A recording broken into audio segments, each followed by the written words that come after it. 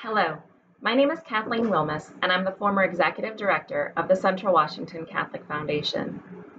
Last year, at the organization's Celebration of Faith event, keynote speaker Father Robert Spitzer shared that 44% of our children will lose their faith, not just their Catholic faith, but their faith in God. Our kids are full of the world today more than ever. Children and families are hungry for direction, community, and hope. They need faith, and you and I can help.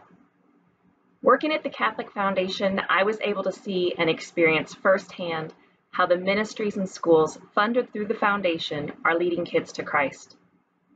In order to ensure that our kids have the opportunity to know the joy of God's grace and His mercy, it is essential that our schools and formative programs are fully funded, that our catechists and teachers are equipped to share the good news.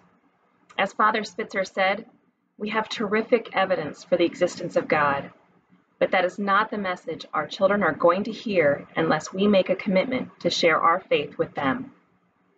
Through the Catholic Foundation, you have the opportunity to fulfill your charitable goals for the parishes, schools, and faith organizations that you love, organizations that have impacted you, your family, and your community. The weight of this world is too great for our kids to bear, and they deserve to know the healing power of God. I invite you to join my husband and I in supporting this powerful ministry. Thank you.